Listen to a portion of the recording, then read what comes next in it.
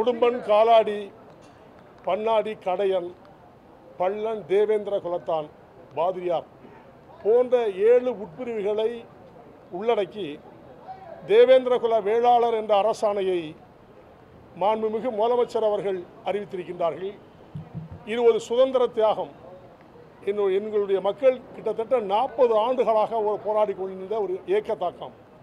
அதன் அடிப்படையிலே தேவேந்திரகுல மக்கள் எல்லாம் தமிழகம் முழுவதும் அல்ல இந்தியாவிலே வாழுகின்ற அத்துணை பேர்களும் இன்றைக்கு வட்டற்ற மகிழ்ச்சியோடு இருந்து கொண்டிருக்கின்றார்கள் என்பதை நான் மகிழ்ச்சியோடு தெரிவித்துக் கொள்கிறேன்.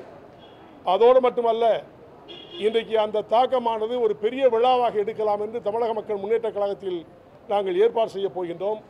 முழுமையான ஆர்டர் மத்திய அரசிலிருந்து வந்த பிறகு அந்த விழாவை பெரிய குறைந்தது நெல்லை மாவட்டத்திலே ஐந்து லட்சம் மக்களை கூட்டி ஒரு நன்றி அறிவிப்பு கூட்டமாக ஏற்பாடு செய்ய இருக்கின்றேன் என்ற தகவலையும் இங்கே சொல்கிறேன் இந்த சூழ்நிலையில் கொங்கு மக்கள் கட்சி ஈஸ்வரன் அவர்கள் நேற்றைய தினம் மீடியாவிலே சன் டிவி மூலமாக தேவையில்லாத ஒரு சர்ச்சையை கிளப்பி இருக்கின்றார். இது வருந்தத்தக்கது.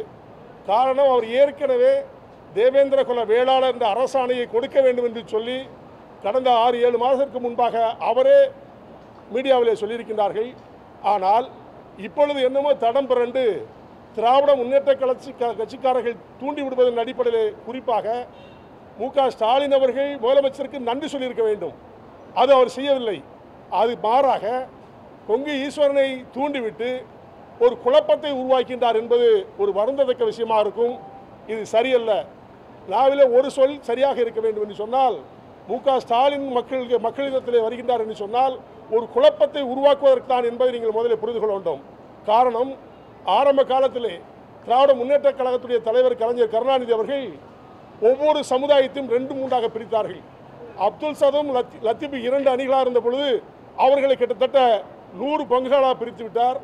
அதுபோன்று தேவர் சமுதாயத்தில் இரண்டு அணிகளாக இருந்தவர்களை கிட்டத்தட்ட ஐம்பது பிரிவுகளாக பிரித்து விட்டார். திமுகவுடைய சாதனையை நான் சொல்லுகின்றேன். அதுபோன்று தேவேந்திர குல சமுதாயத்திலே ஒரே அணியாக இருந்த காரணத்துக்கிட்டால் ஆயிரத்தி தொள்ளாயிரத்தி எண்பத்தி ஆறில் புரட்சித் தலைவர் எம்ஜிஆர் அவர்களுக்கு நான் ஆதரவு கொடுத்த அடிப்படையிலே யாரையோ ஒருவரை கோயம்புத்தூர்லேருந்து இறக்குமதி செய்து இந்த சமுதாயத்தில் துண்டுபட்டு கொண்டார். இப்படி சொல்லிக்கொண்டே போல ஒவ்வொரு சமுதாயமும் கொங்கு வேளாளர்கள் ஒரே அணியில் இருந்ததையும் ஈஸ்வரன் என்ற ஒரு நச்சுப்பாம்பை உள்ள வைத்து அதையும் ரெண்டாக பிரித்து விட்டார். சமுதாயம் ஒற்றுமையாக இருக்கக்கூடாது என்றிலே திராவிட முன்னேற்ற கழகமும் இப்போ இருக்கின்ற திமுக தலைவர் மு க ஸ்டாலினும் தெளிவாக இருக்கின்றார்கள் என்பதை இதில் புரிந்து கொள்ள வேண்டும். நேற்றைய தினம் அம்பேத்கருடைய நூற்றி அறுபத்தி நாலாவது நினைவு நாளை ஒட்டி பிரசரிக்காத டிவிகளிலே சன் டிவியும் கலைஞர் டிவியும் முக்கியம் என்பதை நீங்கள் கருத்தில் கொள்ள வேண்டும். பாபா சாஹ் அம்பேத் அம்பேத்கர் அவர்கள் நேஷனல் லீடர். அந்த லீடருக்கு கூட முதல் மரியாதை செய்யாத அவர்கள். இந்த மக்களுக்கு எப்படி செய்ய முடியும் என்பதை நான் இந்த நேரத்தில் சொல்லிக்கொள்ள கடமைப்பட்டிருக்கின்றேன். அதோடு மட்டுமல்ல மக்களை குழப்பி பிரிகுளாக்கி எல்லோரையும் துண்டு உண்டாக்கி தமிழகத்தில் கலவரத்தை உருவாக்குவதற்காக திராவிட முன்னேற்ற கழகத்துடைய தலைவர் ஸ்டாலின் அவர்கள் முயற்சி செய்வதாக கேள்விப்படுகிறேன்.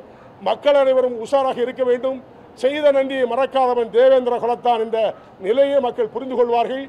அது நிச்சயமாக தேர்தலில் பிரதிபலிக்கும் என்பதை நல்ல நேரத்தில் சொல்லி மாண்புமிகு முதலமைச்சர் அவர்களுக்கு மீண்டும் மீண்டும் வள- வாழ்த்தி அவர் செய்த பணிக்கு எங்களுக்கு மறக்க முடியாத ஒரு சுதந்திர தியாகத்தை கொடுத்ததுக்கு நன்றி கூறுகிறேன். நன்றி வணக்கம்.